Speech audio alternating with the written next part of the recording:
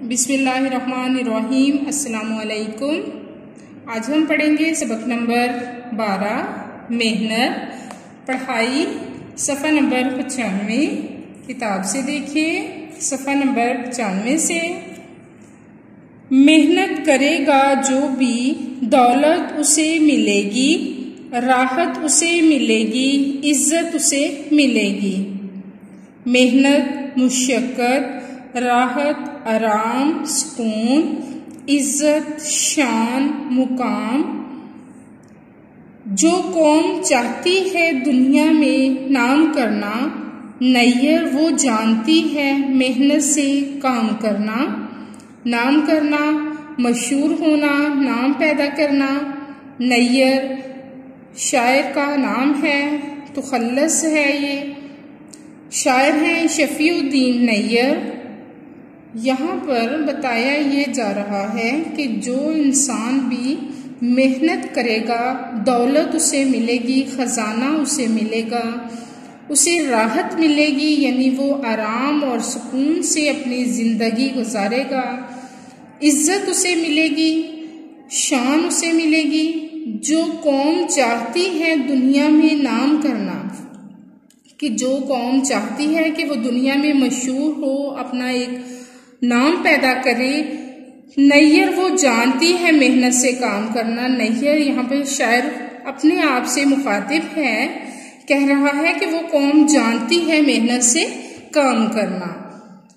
इसके बाद हम अल्फाज मायने पढ़ते हैं, राहत, आराम, सुकून, दौलत, खजाना, इज़्ज़त, शान, मुकाम, नाम करना, मशहूर होना। नैयर शायर का नाम है। इसके बाद हम पढ़ेंगे सवाल नंबर दो, किताब से, सफ़ा नंबर छियानवे से।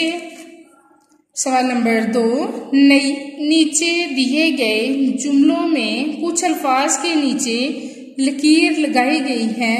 इन अल्फाज के मायने पर दायरा बनाएँ। नंबर एक ए नो निहाल बच्चों, मेहनत से काम करना। नौनिहाल के नीचे लाइन लगाई गई है, लकीर लगाई गई है। अलिफ मेहनती बे, नेक, जीम, कम उम्र। तो नौनिहाल का मतलब क्या है? कम उम्र। तो कम उम्र पर हम दायरा लगा देंगे जीम। जीम पर हम दायरा लगा देंगे। नंबर दो, मेहनत के बल पे सारी दुनिया को राम करना। राम करना के नीचे लकीर लगाई गई है। अलिफ, नाकाम होना, बे, दुनिया को फतह करना, जीम, बेबस होना, राम करना का मतलब है, दुनिया को फतह करना, बे बे पर हम दायरा लगा देंगे। नंबर तीन, जो मेहनत करेगा, उसे राहत मिलेगी। राहत के नीचे लाइन लगाई गई है। अलिफ, खुशी बे खजाना जीम दौलत तो हमारा जवाब क्या है? राहत, खुशी। तो अलिफ पर हम दायरा लगा देंगे। नंबर चार, मेहनत की वजह से दस्तकारियाँ चल रही हैं। दस्तकारियाँ के नीचे लकीर लगाई गई है। अलिफ फैक्ट्रियाँ बे हाथ से चीज़ें बनाने का हुनर जीम मशीनें, दस्तकारियाँ का मतलब है हाथ से चीज़ें बनाने का हुनर। तो हमारा सही जवाब क्या है? बे। बे पर हम दायरा लगा देंगे। नंबर पाँच, मेहनत लोगों को खजाने की कान दिखाता है। कान के नीचे लकीर लगाई गई है।